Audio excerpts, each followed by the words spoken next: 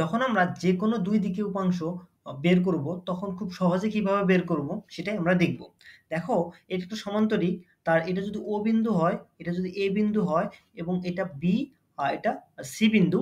তো এখানে আমরা দেখতেছি এটা আলফা কোণ। যেহেতু এটা হলো আর একটা ভেক্টর, তো আমরা বলতেছি যে আর একটা ভেক্টর, এই ভেক্টরকে আমরা এই দিক বরাবর একটা উপাংশ নিচ্ছি এবং এই দিক বরাবর উপাংশ নিচ্ছি ২ টা দিক। অর্থাৎ আরেকটা ভেক্টর তার ও এ বরাবর একটা উপাংশ হচ্ছে এবং ও সি বরাবর একটা উপাংশ হচ্ছে। যেহেতু তো আমরা যে কোনো যে কোনো দিক বলতেছি, তো আমরা দেখতেছি আর এর সাথে এই যে আমাদের আ ও এ আছে সেটার মধ্যবর্তী কোণ হলো আলফা। আর এখানে যে আছে যেটা কোণ আছে অর্থাৎ আর এর সাথে ও সি বরাবর যে উপাংশ উপাংশ সেটার মধ্যবর্তী কোণ হলো বিটা। তো দেখো যেহেতু তোমার এই কোণটা আর এই কোণটা কি পরস্পর পরস্পর সমান্তরাল, তো আমরা বলতে পারব বি আর এখানে আমাদের বি চলে আসবে। কারণ এই দুটা কি অনুরূপ কোণ একান্তর কোণ পরস্পর সমান হবে। অর্থাৎ এল ও এ ও সি সমান্তরাল এ বি যদি হয় তাহলে আমরা সেখান থেকে কি করতে পারি? এই যে আমাদের যে এই কোণ যে আছে যে অর্থাৎ এই কোণ যে আছে সেটা আর এই কোণটা পরস্পর কি একান্তর কোণ। তো সেই হিসাবে আমরা বলতেছি এটা বিটা কোণ। তো দেখো, এই যে আমাদের যে এই কোণটা আছে, এই কোণটা কি হবে? তো এই কোণটা যদি কি হয়, সেটা যদি বের করতে চাই, দেখো তুমি খুব ইজিলি বের করতে পারবা। কারণ কি যেহেতু ও এ বি একটা ত্রিভুজ, তো ত্রিভুজের তিন কোণের সমষ্টি ১৮০ ডিগ্রি। তো আমরা দুই কোণের মান জানি আলফা আর বিটা। তো এই কোণের মান হবে ১৮০ থেকে alpha minus alpha plus beta যদি বাদ দেই, তাহলে আমরা এটাই আমাদের পাচ্ছি এই কোণের মান। তো দেখো, এখন আমাদের যে জিনিসটা জানতে হবে, সেটা হলো যে জাস্ট আমরা একটা পরবর্তী স্লাইডে যাই। তো ত্রিভুজের একটা গুণাবলী দেখতে হবে। দেখো ত্রিভুজের, একটা ত্রিভুজ নেই আমরা, নিয়ে দেখি ত্রিভুজের গুণাবলী কেমন হয়। তো দেখো ত্রিভুজের গুণাবলী এরকম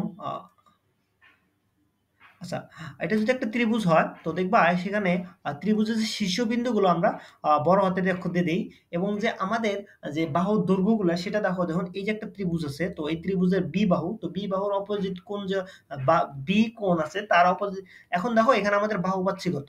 AB আর একটা বাহু পাচ্ছি AC এবং একটা পাচ্ছি BC। তো আমরা জানি না যেহেতু এই বাহুর দৈর্ঘ্যগুলো A, B, C এটা কোণটাকে কীভাবে লিখব? তো সেটা লেখার সবচেয়ে ইজিয়েস্ট ওয়ে হলো এ শীর্ষের বিপরীত বাহু হলো এ, আর বি শীর্ষের বিপরীত বাহু বি এবং সি শীর্ষের বিপরীত বাহু তুমি সি তো ত্রিভুজের সাইন যে রুল আছে, একটা সাইন রুল আছে, সাইন রুল আছে। তো এটা তুমি ত্রিকোণমিতি পাবা। ত্রিকোণমিতি অধ্যায় পাবা।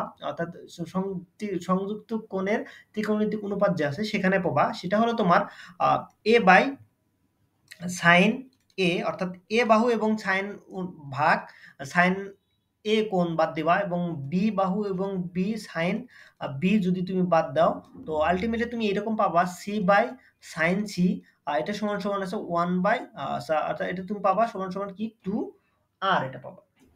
তো A by sine A, B by sine B R C by sine C is equal to R এটা কীভাবে হচ্ছে দেখো? এই যে আমরা যে এ কোণ যখন নিব অর্থাৎ আমরা যখন এ কোণ নিচ্ছি এই যে এ বাহু যখন নিচ্ছি এ বাহুর যে বিপরীত কোণ আছে এ কোণ তো এ বাহু বাই তার বিপরীত কোণ হলো তোমার এ অর্থাৎ সাইন এ এবং বি বাহু এবং তার বিপরীত কোণ হলো তোমার বি অর্থাৎ সাইন বি অর্থাৎ এবং সি সি বাহু এবং সি কোণের বিপরীত কোণ হলো তোমার সি বাহুর বিপরীত কোণ হলো তোমার সি কোণ। তো সাইন সি সমান, সমান 2R এটা হলো তোমার পরিবৃত্তের ব্যাস। তো দেখো এই জিনিস এই সূত্র যখন মনে থাকবে তোমার দেখো আমরা ইজিলি এখান থেকে আমরা বের করতে পারব দেখো যদি এটা একটা পি হয় অর্থাৎ এটা যদি এক্স হয় অর্থাৎ এই যে এই ও এক্স ও এ বরাবর এক্স ভেক্টর হচ্ছে এবং এটা বরাবর ওয়াই ভেক্টর যাচ্ছে। যেহেতু আমরা এটা আর এটা সমান, সমান এবং সমান্তরাল তো আমরা এটাকে আমরা ভেক্টর শিফটিং এর মাধ্যমে ওয়াই লিখতে পারব। তো দেখো এখান থেকে আমরা জাস্ট কি করতেছি দেখো এই যে আমাদের X বাহু আছে, X বাহু, তো সেটাকে আমরা কি করব X বাহু বাই করব কত? দেখো আমরা কালারটা চেঞ্জ করে নিই, তাহলে তোমাদের বোঝার সুবিধা হবে।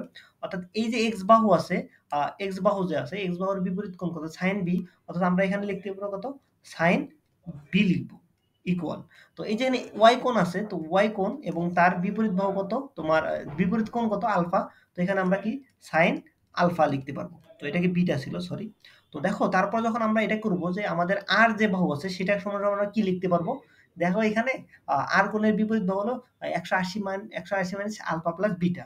তো এখানে সাইন একশো একশো আশি মাইনাস আলফা প্লাস বিটা আমরা খুব ইজিলি লিখতে পারব।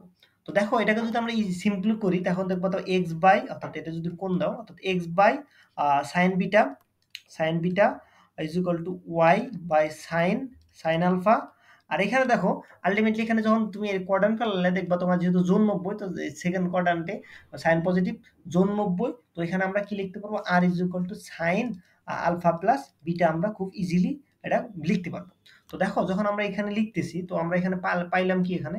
X by sine beta Y by sine alpha এবং R by sine alpha plus beta আমরা খুব ইজিলি পেয়ে গেলাম। তো দেখো এখান থেকে আর এই যে দুইটা অনুপাত যখন নিব, তখন আমরা কি পাচ্ছি? R by sine sine alpha plus beta সেটা সমান সমান আমাদের আসতেছে চলে এক্স বাই সাইন বিটা চলে আসতেছে। তো দেখো তুমি এখান থেকে আর ইজ ইকুয়াল টু তুমি পাচ্ছ এক্স ইজ ইকুয়াল টু পাচ্ছ কত? অর্থাৎ এক্স ইজ ইকুয়াল টু তুমি পাচ্ছ কত? R sine beta sine beta divided by কত? সাইন আলফা এভাবে তুমি পাচ্ছ আলফা প্লাস বিটা এভাবে পাচ্ছ এটা। তো যখন দেখবা তুমি যে, ভাই, আসলে আমি দেখতেছি যে, আসলে আমাদের কি হচ্ছে। তো যখন তুমি এই দুটো অনুপাত নিবা, তখন দেখে তুমি কি পাচ্ছ? ওয়াই ইজ ইকুয়াল টু পাচ্ছ তোমার জাস্ট এই সাইন আলফাটা এখানে পূরণ হলো, অর্থাৎ R into sine alpha divided by sine alpha plus beta আমাদের আলটিমেটলি চলে আসতেছে।